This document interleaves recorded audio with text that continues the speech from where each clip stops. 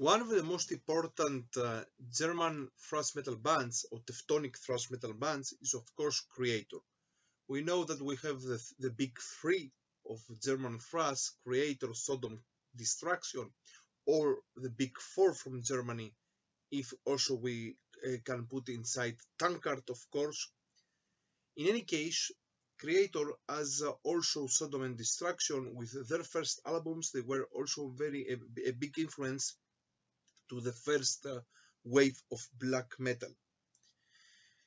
So uh, today I will speak about Kreator. I will try to rank their albums from worst to best, or maybe even better, let's say from the less beloved to the more beloved albums of them. Uh, they don't have really bad albums, but they have uh, some albums that they are controversial, or maybe they are not exactly thrash metal albums. Kreator, they are uh, there is a band from Germany, from Essen of Germany, that they started uh, their story in 1982, and uh, until now they are they have uh, 38 years of existence. Mille Petrozza and uh, Ventor, the drummer, they are the members that they are in uh, in the they continue until now, from the beginning until now. Ventor he was not in all in all in all albums. And they changed them uh, many time many times the the members of the band. Now until now they have 14 albums and uh, I will try if if also I have to say that um, if we want to to, to make a, a difference about uh, different periods of the band. First of all, we have the first period of the four of the, of the five thrash metal uh, albums of the beginning. This is the golden age of Kreator. Afterwards, we have the second period, that is the period that uh, Kreator tried to make something else. They are going inside to industrial, to groove metal, to gothic metal, gothic rock, four albums uh, that uh, they are inside this situation. And also we have to remember in these years in the late in, in the late 90s uh, uh, this is the same situation in many uh, metal bands in the many thrash metal bands. Also destruction in this situation they became a little bit more grunge Sodom they became they, they became even more punk crust punk. Metallica we know load reload Megadeth with Risk, Slayer, even Slayer, they became a little bit punk hardcore. In any case, many bands, uh, Testament, they became a little bit, bit more death metal. in these days, most of the bands uh, of thrash metal, especially, they try to find something else. Also, Kreator, they became in the beginning more industrial and, and groove metal, afterwards even more gothic and the third period begins with uh, Violent Revolution in 2001 that they became back to the roots, back to thrash metal, and until uh, from Violent Revolution until now, they have other five albums of thrash metal. Okay, now, so I will try to rank them from worst to best. In the 14th place for me comes the ninth album of them, Endorama, of 1999. Uh, this album is a, is a not bad album, but is uh, so is not thrash album. It's not thrash album, and we didn't expect it from them.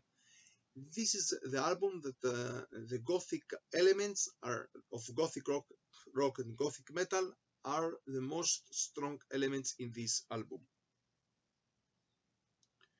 Now, in the 13th place, the album Renewal of 1992. This is the first album that they started to, uh, to not to be exactly thrash metal. This is the sixth album of them, and in this album they became industrial, industrial metal, groove metal. We find here. It is a good album, but also not the thrash metal of Kreator. And now, in the 12th place, the seventh album of them, Cause for Conflict of 1995. Also an album that uh, continues the way of renewal. Here we have industrial metal, groove metal, but a little bit some things from thrash metal. And now in the 11th place, an album that many people maybe will have objections, and I'm speaking about their 10th album of, of 2001, Violent Revolution. The album that Kreator in this album, they, they came back to their roots, to their thrash German roots.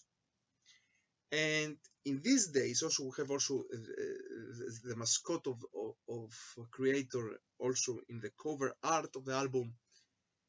Uh, but in any case, in these days, many people they liked the album so much.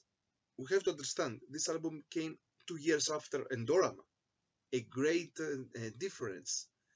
So many people they wanted Kreator to come back and they came back Yes, and this is also a very good album. Here also Violent Revolution is a very great song.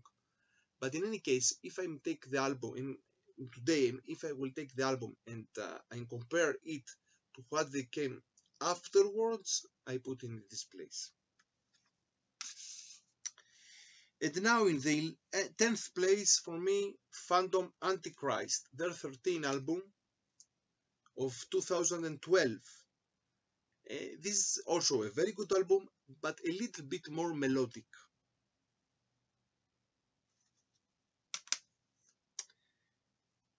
Ninth place. Their last album, the 14th album of 2017, Gods of Violence. Also, good album, very good album. It continues the way of Phantom Antichrist, and I like it even little bit more from Phantom Antichrist. Okay, eighth place, Hordes of Chaos, their 12th album of 2009. Yes, this is the third uh, album of thrash metal after uh, their um, return to their roots. I like this album. I, I like this album a lot. And in the seventh place, the 11th album of them of 2005, Enemy of God. I prefer this album even more than Violent Revolution, even more from Hordes of Chaos and uh, from the, the, two last albums of them. This is the epitome of old school thrash metal and also of uh, a style of new thrash metal. Something very, very solid. And now, in the sixth albums that I will speak now, for me, this is the, these are the great albums of Kreator. Now, in the sixth place, and now now that also there will be also objections, their fifth album of 1990, Coma of Souls. Coma of Souls. This is also the last album uh, of the golden age of thrash metal of them.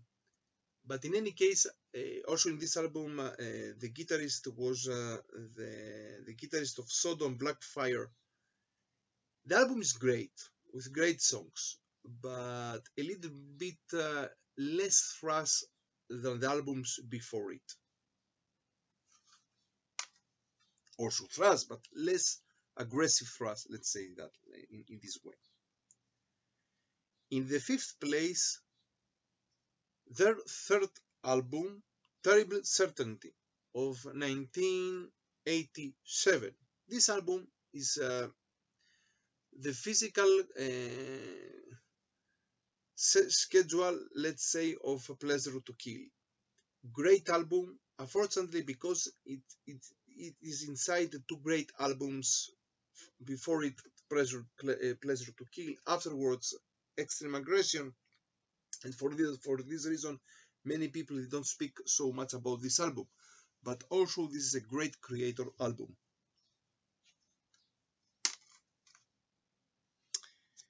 Fourth place.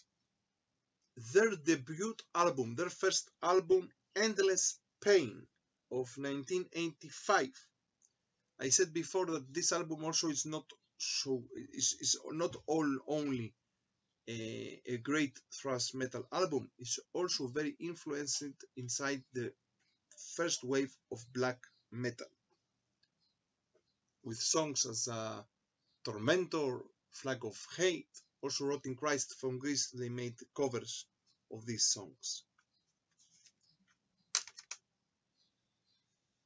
And now, in the third place, one of the Kreator albums that maybe they are not thrash metal, this is not thrash metal, but for me is inside my heart. I'm speaking about Outcast, their eighth album of 1997, a great, great album. Yes, this album is not thrash exactly. It's a little bit industrial, a little bit groove, and a little bit gothic uh, but it's so great so great i like it like i like very much um, for example draconian times of paradise lost wild honey of tiamat and outcast of Kreator are in the same uh, level for me. Great great albums. Yes this is a great album. This is not thrash album. This is not the original Kreator sound but it's so great as an album. Also in this album, uh, the guitarist was uh, the former guitarist of Coroner, Tommy Vetterli. And many people they thought also the the Coroner guitarist was also afterwards in Endorama. And many people they thought that maybe Kreator will, will become a little bit influenced by Coroner, but in any case they became even more gothic in this album and even more in Endorama afterwards. And now in the second place and here uh, I didn't uh, in the beginning I didn't I, didn't know what to decide. Uh, I had a conflict what I will put here the first or the or the second in the, in the second and first place. But in any case I decided that the second place for me comes Pleasure to Kill their second album of 1986 and this is maybe the greatest and the most famous album of Kreator. Uh, many people maybe they will put also Coma of Souls, Come, uh, Coma of Souls in this place, or other people will put Extreme Aggression, but many people prefer A Pleasure to Kill, and I understand them. I understand them. A great, great thrash metal, Teutonic uh, German thrash metal album with a so great cover art. But but in any case for me in the first place comes extreme aggression of 1989 their fourth album. Every song here is great. Extreme aggressions no reason to exist love us or hate us stream of consciousness some pain will last betrayer. They made also the video clip in the in uh, parthenon of greece of athens. Uh, Don't Trust, Bringer of Torture, Fatal Energy. Every song here is great. For me, this is the masterpiece of Kreator. Extreme aggression. So, uh, from Israel and from Jerusalem, stay metal and stay heavy.